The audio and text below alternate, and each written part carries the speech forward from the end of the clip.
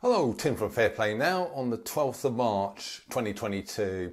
Before I get into the main topic I want to discuss today, uh, I'll just remind you that the next London shopping trip, uh, the Worldwide Rally for Freedom, just looking at my notes down here, is next Saturday, 19th of March, meeting up at 12 midday in Parliament Square. So that's what's happening.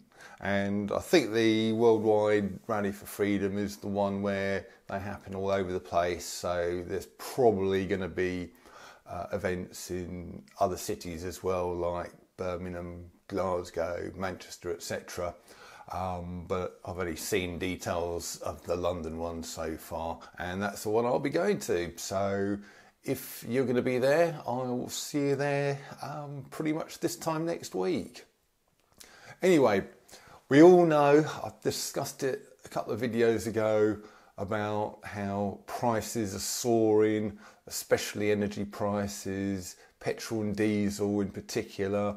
Uh, I sort of saw it at £1.76 a litre uh, the other day and other people tell me there's places around here where it's uh, up into the one pound eighties, and yeah, it's probably going to be two pound a litre before too long.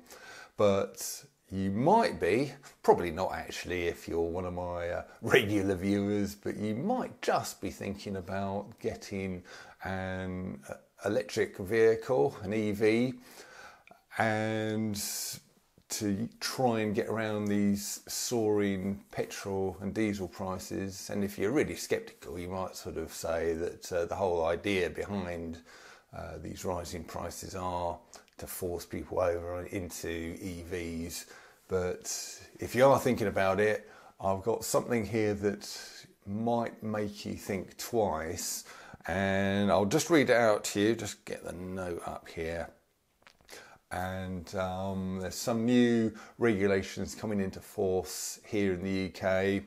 And don't worry, if you're not in the UK, you don't need to feel left out on this because no doubt uh, these same kind of regulations will be coming uh, to your country as well. But I'll just read this one out relating to this country.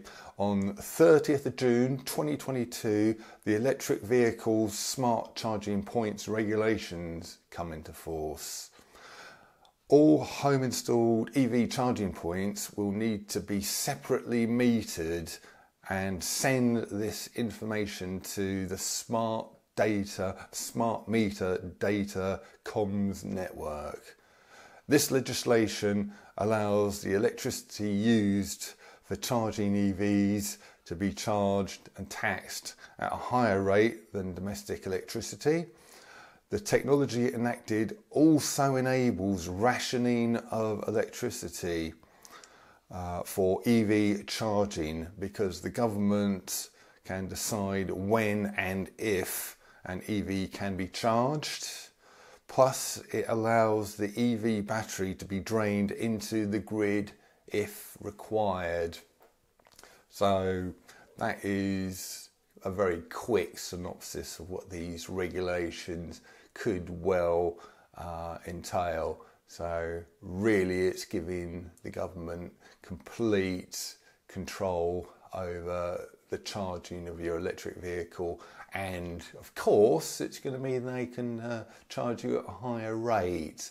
So any benefits that you might currently be seeing um, with the charging of, of your EV uh, looks like they're going to be sort of null and void before too long. And as we all know uh, giving government kind of greater control over your life is not a great idea. We've all we've all seen that uh, in the last couple of years, at least, if not longer. And if and it just means that if the government don't want you travelling, if they don't want you to go more than 20 miles, 30 miles, 40 miles uh, from your home, they can just turn off the charging to your vehicle so that you've only you've only got 40 miles of range in your vehicle uh, for a particular day or a particular week, whatever. So I thought I'd read that out, give you a heads up. Probably almost no one is talking about this. There's other things, uh, but yeah, it just shows you how these uh, regulations, laws, and things are creeping in, doesn't it? And it's going to get to the point where they could even, with these electrical vehicles. Oh, and another point, I did hear a thing. Um, I'm not sure how true this is, again, unconfirmed, but I did read this morning that apparently uh, it must be the US government have asked uh, um, Elon Musk to see if he can basically switch off Tesla cars if they're in Russia. So, don't know if that can actually be done, but the fact that uh, uh, this has even been reported on and people are actually thinking about this is quite frightening. So, if you fall out of favour, they can just literally, or might possibly be literally able to switch off uh, your electrical vehicle uh, or, or your EV, and they can at least restrict where you go with your EV as well. So if they don't want you going too far out to the countryside, they can do that. And the technology does exist. I've experienced it already. Uh, as you know, if you've been a viewer of this channel for quite a while, you'll know that I do like a game of golf here or there um, in the summer. And yeah, I'm uh, very much a fair weather player. I've been out for many months over the winter, but uh, I'll be getting out again for the first time in a couple of weeks uh, for my first round of golf. And I sometimes, sometimes when, when we go away for a golfing weekend, me and my mates, uh, we like to hire out those golf buggies that you sort of drive around in. A uh, bit of a lazy old man thing to do, and normally we walk and carry our clubs. Uh, but when we're on a golfing weekend, yeah, we like to treat ourselves on these golfing weekends, so we might hire out a, uh, a buggy for one of these rounds. And I have been on them where, because obviously they don't want you driving over the greens with these things uh, or over the tee boxes. You know, you know, we play your first shot from on each hole, and there's other parts of the uh, sort of course that don't, don't want you driving on as well. And yeah, if you start getting too near to the, the green, it will actually stop, and then the only thing you can do is put it into reverse and reverse back.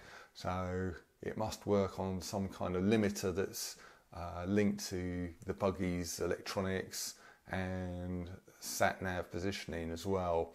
So the technology to restrict you with these electrical vehicles is definitely there and I've experienced it firsthand. And I'll just finish off with a bit of a funny story. We're um, me and my brother was on one of these uh, buggies with this kind of control system on it, and we were driving along. And don't ask me how we managed to do it. Uh, my brother's a bit of a nutty driver anyway, and um, he kind of managed to get into the situation where we couldn't go any further forward because of this limiting thing on the golf course.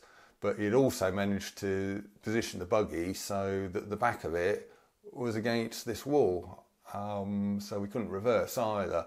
And as I say, don't ask me how he managed to do it. I'm, I shake my head in despair, to be quite honest, sometimes with him. Uh, but um, yeah, all we could do is manhandle the thing around a bit, um, which took ages because they're blimmin' heavy things. But we managed to sort of bump the back end of it around just enough so that we could then reverse back the required distance. Um, so yeah, just a bit of a, a funny anecdote, uh, but relating to quite a serious issue uh, that we're looking at going forward. So yeah, just be aware. 30th of June this year, the electric vehicle smart charging points regulations are coming in, and yeah, just another little step further towards the uh, new world order, isn't it? Well, with that thought, I'll leave it for today. Tim from Fair Play Now, thanks for watching.